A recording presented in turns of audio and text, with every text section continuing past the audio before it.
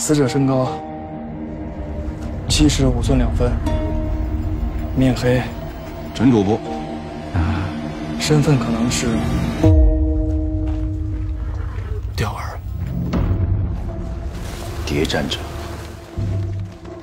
鬼道也。曹魏的进军司一直在追查这个白帝。书蝶，白帝，这是一个局，好像所有的细节都是提前设计好一般。因为我没有烛龙，烛龙，这才是战争决胜的方法。兵无常势，水无常形。饭桶！接情失手，北伐失败。我总觉得这一切背后都有烛龙的影子。不抓住烛龙，你我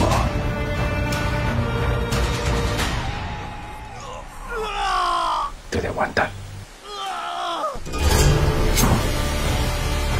真真假假。人心难测。我们中了曹魏建军司的反间计，所以你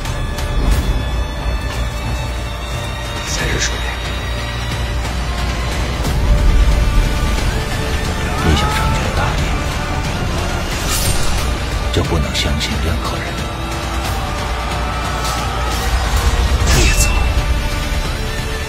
星汉，前途虽艰险，万死不辞。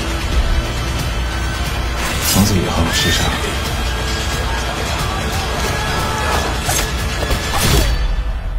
再没有成功这个人。